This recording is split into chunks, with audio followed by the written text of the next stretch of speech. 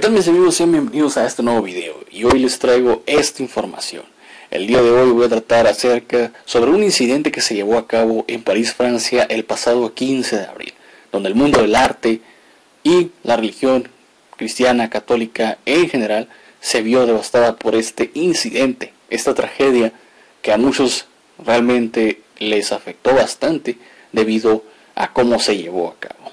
Estoy hablando del incendio de la icónica Catedral de Notre Dame, de Nuestra Dama o Nuestra Señora, o como quieran llamarle o traducirlo, del francés al español literalmente, ¿no? Eh, de hecho, es un golpe bastante grande, ya que, pues obviamente todo el techado, el techo, es de madera, y prender fuego en un lugar como este, que tiene muchos valiosos objetos, pues es como una declaración de guerra para los cristianos, para los católicos, en este caso. Y pues, primero que nada, yo te quiero decir lo siguiente. Sé bienvenido a este tu canal. Y como siempre te digo, hoy te voy a presentar la predicción del incendio de Notre Dame según Benjamín Solari.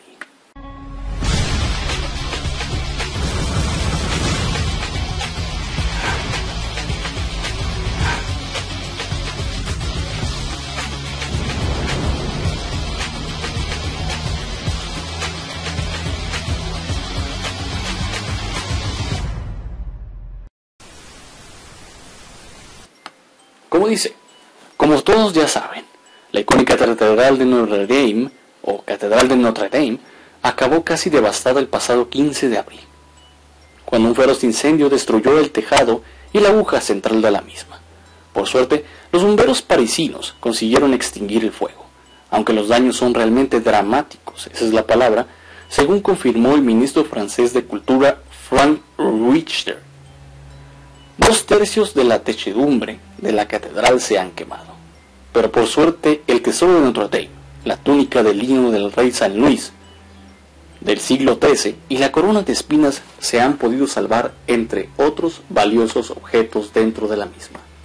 Sin embargo, para algunos el devastador incendio ha sido un mensaje profético al mundo sobre el fin del cristianismo. Expertos en la materia aseguran que el incidente fue anunciado en Marcos 13, donde Jesús predijo la destrucción del mismo templo. La escritura bíblica en cuestión hace referencia a pasajes del Nuevo Testamento que profetizan la destrucción del templo de Jerusalén, no de Notre Dame. Ojo aquí. Por lo que el incendio de Notre Dame podría ser un símbolo profético del principio del fin de la fe cristiana. Además, parece ser que Nostradamus también predijo el terrible suceso ocurrido en París, aunque no sería el único. Ahora, un investigador afirma que un pintor argentino también predijo el incendio de la catedral.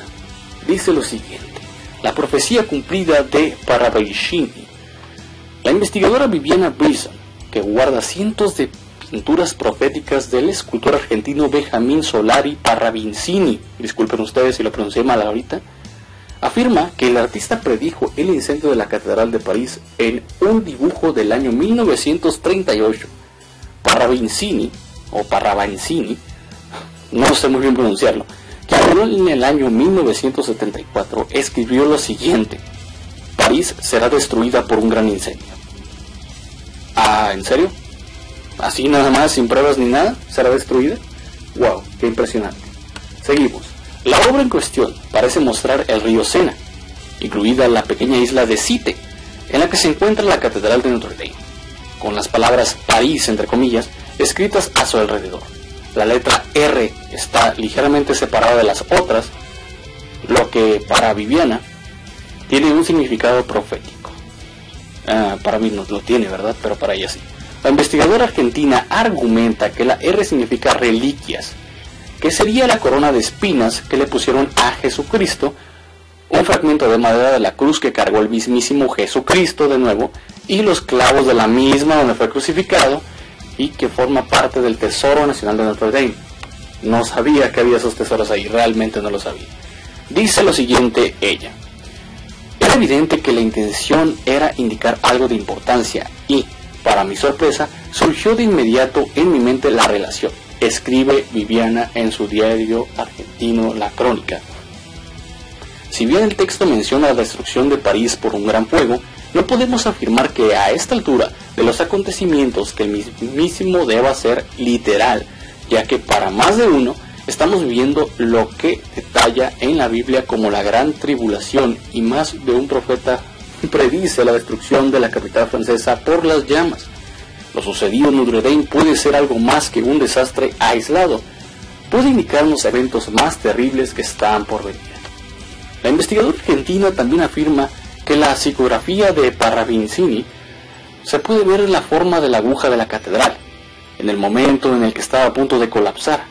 Además, menciona que la entrada principal de la catedral lleva el nombre de Puerta del Juicio Final, y que también hace referencia a Parravincini en sus textos. Dice, las psicografías de Benjamín Solari Parravincini. Benjamín Solari Parravincini, nacido en Buenos Aires, Argentina, Che, en el año 1898 y murió en el año 1974 a la edad de 76 años. ¿Sí? 76, eso es correcto. Era pintor y escultor y provenía de una familia tradicional y acomodada. Ocupó diversos cargos en el Museo Nacional de Bellas Artes de Buenos Aires, Argentina, Para Parravincini se hizo conocido a nivel mundial por los mensajes como el de Él nos llamó, recibidos por su ángel guardián sobre futuros eventos que estaban por venir. El profeta argentino dio forma a más de 700 mensajes proféticos que se relacionaban principalmente con eventos trascendentales que afectarían al mundo en su tiempo y después de él, muchos de los cuales se centran en su Argentina natal. La mayoría de estos mensajes le fueron revelados en las décadas de 1940 y 1950, pero continuó recibiéndolas hasta poco después de su muerte o antes de su muerte en la década de 1970. Con el tiempo, se descubrió que sus psicografías, como llamó a estas imágenes y textos, que predecían muchos eventos del mundo moderno, la caída de Hitler y Mussolini después de la Segunda Guerra Mundial, el ascenso de Castro en Cuba, las comunicaciones por satélite, la destrucción de las torres gemelas del World Trade Center en la ciudad de Nueva York, los trasplantes de corazón artificial y la bomba atómica. En la actualidad, la investigadora Viviana Brison continúa ese trabajo y también es la responsable de mantener las psicografías de Parravincini. Desde su sitio web publica la información e investigaciones realizadas sobre su trabajo, así como nuevas interpretaciones basadas en los principales eventos mundiales a medida que se desarrollan. La verdad es que tal y como ha ocurrido con otros eventos importantes de nuestra historia, como los atentados del 11 de septiembre del año 2001, parece haber estado predichos décadas o siglos antes por los llamados profetas, y que podría indicar algo mucho más importante está por ocurrir. Llámese Apocalipsis o el fin de los tiempos. Eso nadie lo sabe. Yo simplemente voy a decir que ya hemos indagado anteriormente en este tema de las profecías. No es la primera vez que hablamos acerca de esto y nos deja con la boca abierta o simplemente nos deja con más sabor de boca. Eh, el creer en las profecías está en cuestión o a criterio de cada persona, a criterio de cada uno de ustedes, disculpen, pero en lo personal yo pienso que esto es más que nada una coincidencia, no una profecía.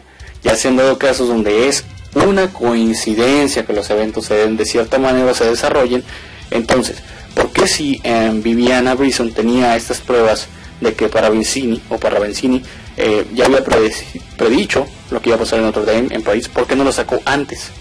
De que sucediera el hecho y no después de que sucedió el hecho. Esa es la principal pregunta que yo me hago. Entonces, aquí no se trata de ver quién es el primero en llegar, sino eh, por qué no tienes la información, por qué no la sacaste antes eh, de que ocurrieron las cosas, sino después. Y de qué va a servir ahora. realmente lo único que va a hacer es alertar a la población en general y ponerlas en estado de alerta para que estén preparados para un futuro cataclismo. No puedes estar asustando a la gente de esa manera, mucho menos alertándola, cuando sabes muy bien que eh, posiblemente venga algo peor. No se puede predecir una explosión o no se puede predecir, se puede eh, prevenir, pero predecir no. Es mi opinión personal, a lo mejor puedo estar equivocado, pueden compartirla conmigo o no, como ustedes quieran. Las preguntas que yo te dejo son las siguientes. ¿Crees que Paravincini predijo el incendio de la Catedral de Notre Dame? Estamos siendo testigos del fin de los tiempos. No dudes en comentar aquí abajo tu opinión. Amigo, amigo, perdón, amigo mío, fue nuevamente un placer para mí traerte este video. Un buen like ayudaría a tu servidor a continuar haciendo este tipo de temas. Sobre todo aquí abajo puedes encontrar links que te van a llevar a mis cuentas de redes oficiales en las que poseo. Recuerda seguirlas todas y unirte a nuestro grupo oficial de Facebook donde puedes contarnos tus propias experiencias paranormales o de cualquier tipo de fenómeno. Además de esto, también te recuerdo que estoy en las aplicaciones Amino, concretamente en YouTube en español y sobre todo en Mundo Secreto, donde comparto estos videos y chateo con personas interesadas en este tipo de temas. Amigo mío, como siempre te digo, te mando un fuerte abrazo y nos vemos hasta el próximo video. Adiós.